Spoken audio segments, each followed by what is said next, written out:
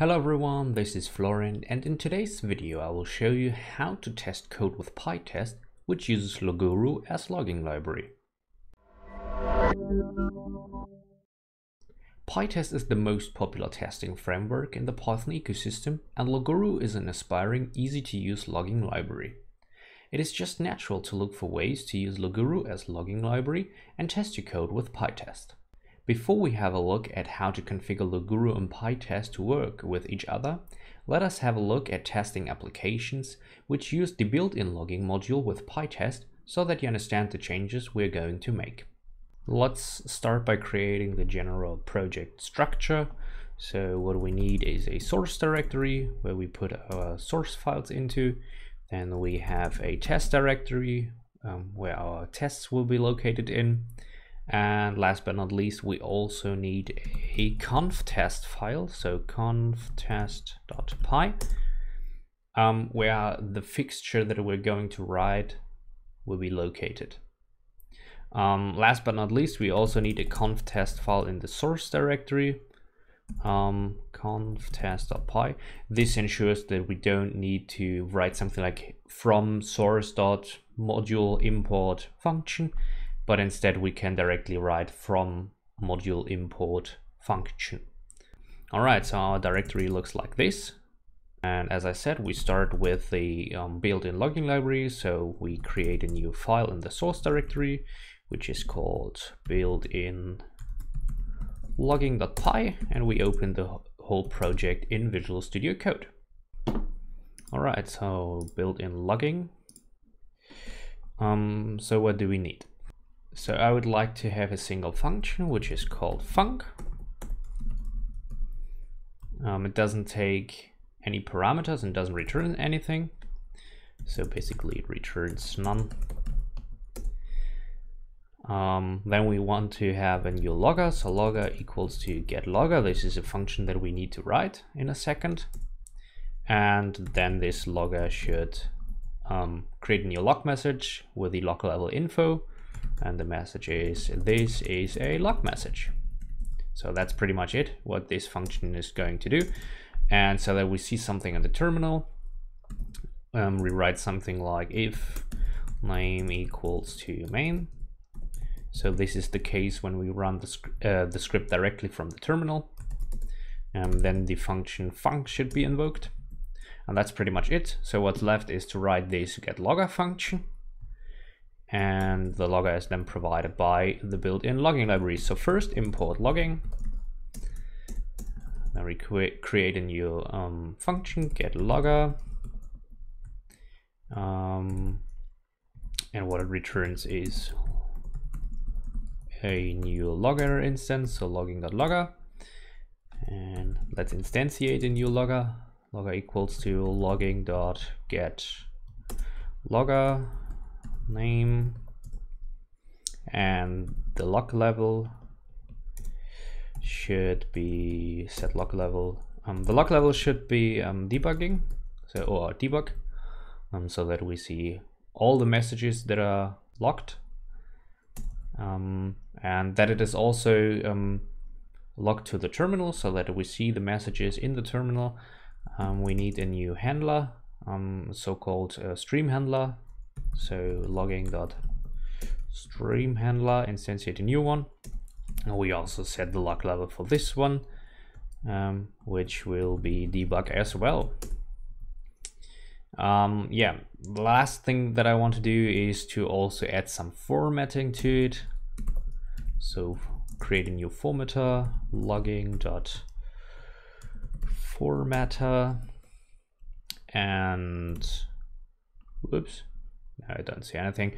And um, the formatting string looks as follows. First, there's the time that is logged, um, then the um, name of the um, of the logger, then the level name, which will be then info or debug, and last but not least, the message.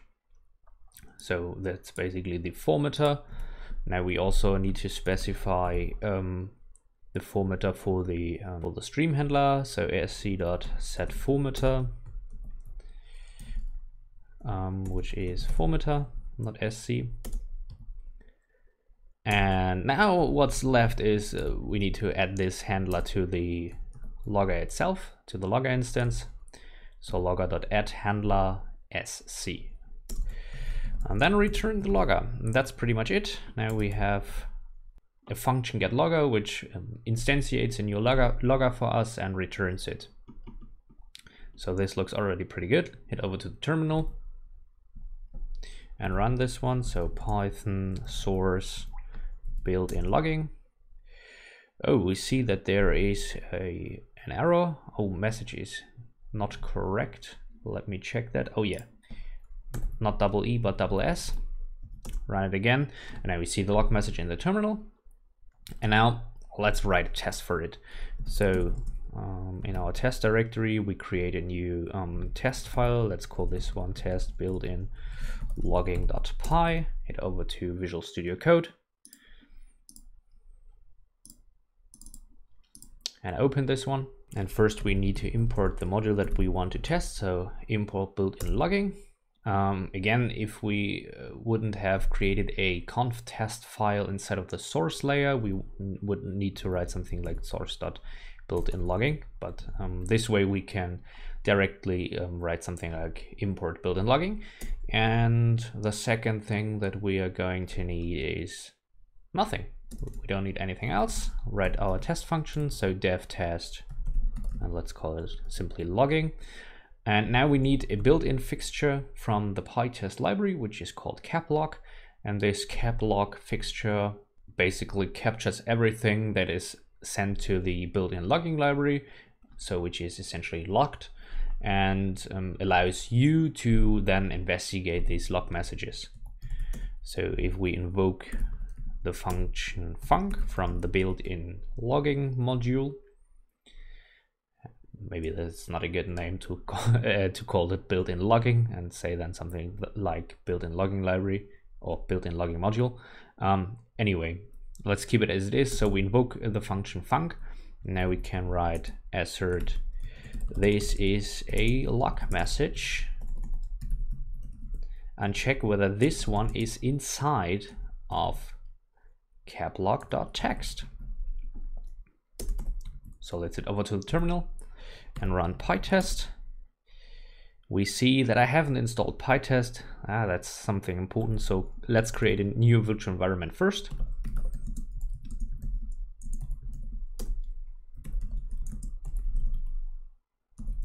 And activate it and then we can install python-m pip install pytest and loguru all right and if we run this test again we see that we have a passing test because this is a log message is indeed inside of caplog.text. So now let's see how we can do the very same thing, but instead of using the built-in logging module, use Loguru as logging library. So I already installed it. So what's left is first to create a new source file and we can basically copy paste what we've already written. So this one should be copied and let's call it Loguru logging.py.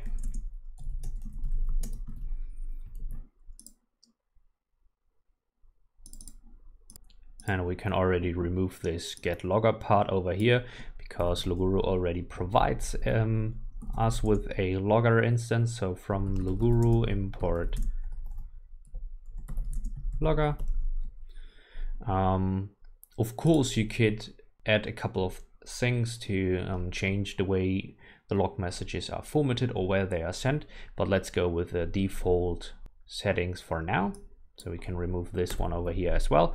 And that's basically it. So from Loguru import logger and in our func function, we can simply write logger.info. This is a log message. So if we head over to the terminal again um, and run pytest for a second time, our first test is still passing, obviously, because we haven't changed it. But let's run um, the newly created Loguru logging module from the terminal. And as you can see, we have here a pretty printed log message created by Loguru. So let's also copy the test file that we already created. So cp test built-in logging and name this one loguru logging.py.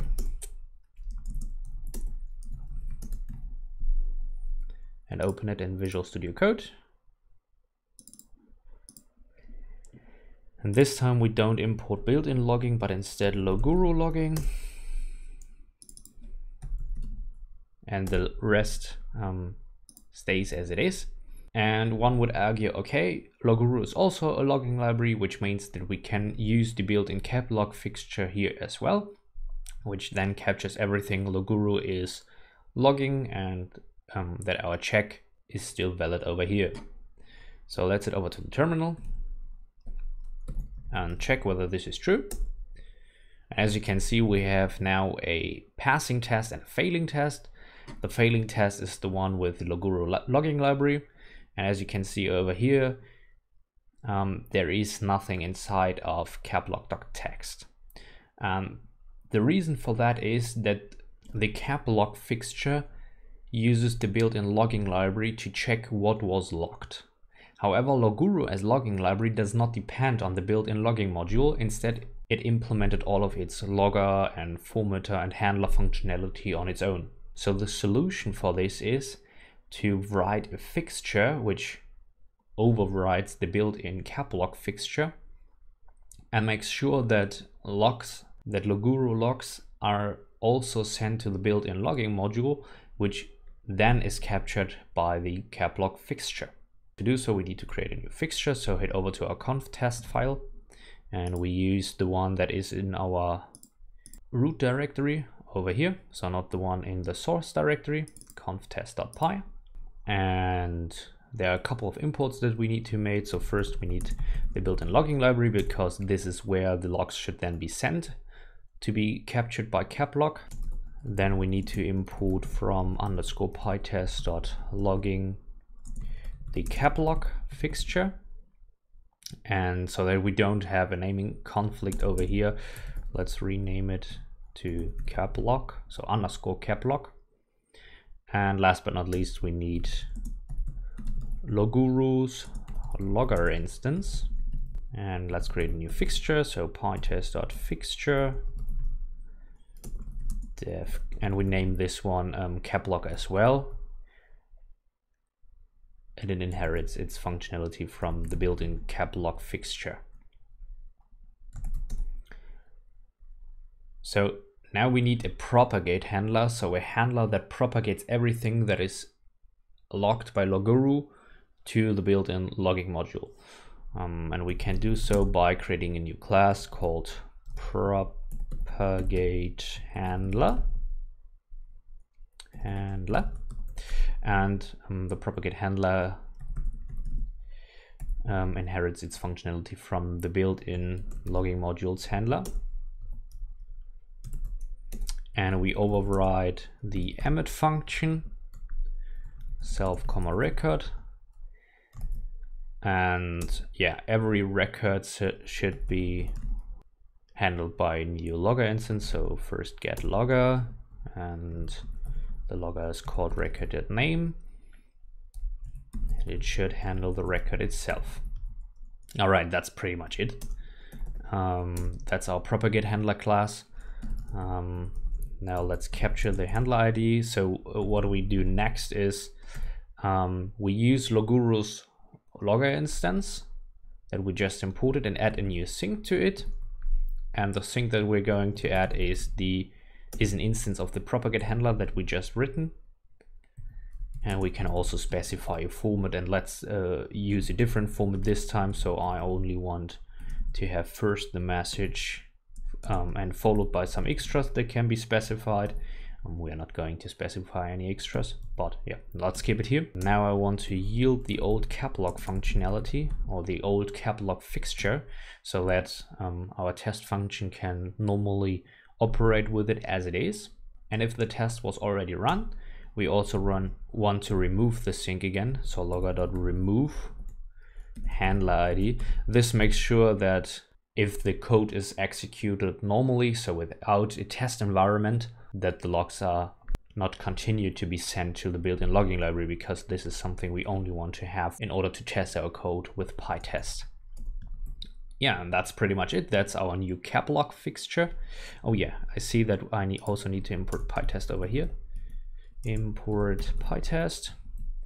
And this looks pretty good. So head over to the terminal again and run it again. As you can see, now we have two passing tests. I hope you liked this um, quick tutorial. Um, let me know in the comments whether you already used um, Loguru as a logging library and which library you use for testing, whether it's PyTest or the built-in unittest module. Stay curious and keep coding.